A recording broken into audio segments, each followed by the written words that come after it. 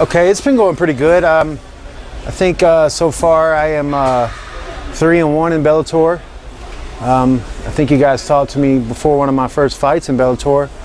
Um, I've knocked out some pretty, I mean, some knocked off some pretty good names. Um, Seth Petruzelli, Babalu, Sobral.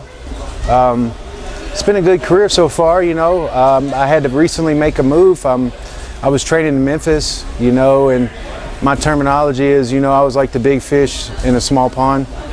And, uh, you know, I was the only full contact fighter there that was pro, that did it as a job. So I had problems with training partners and uh, different people scheduling and stuff like that. So, you know, I, I needed to get somewhere where I didn't have the distractions also, you know, being from a small town in Memphis.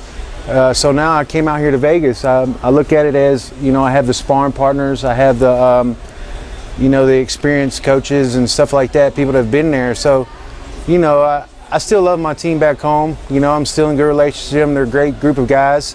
They helped me get to this point.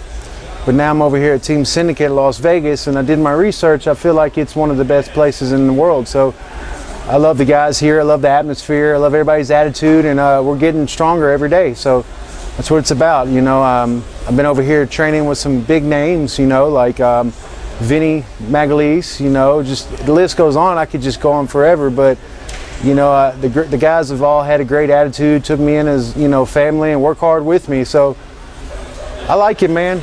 I'm here in Vegas and uh, I'm probably here for the rest of my career.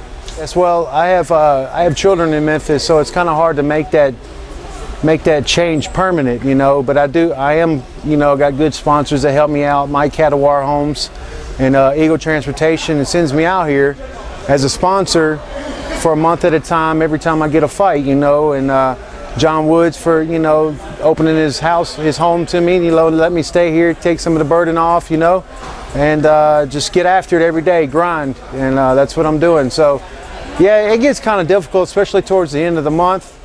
You know, I, I start missing my kids and missing my family and wanting to come home. So, but uh, it just makes that you know after the fight, especially if it's a victory, it just makes it that much better. So, man, I'd just like to thank all my sponsors. It's been there for me since the beginning uh, back home in Memphis, and you know the new ones that I picked up out here in Vegas. Um, I feel like that.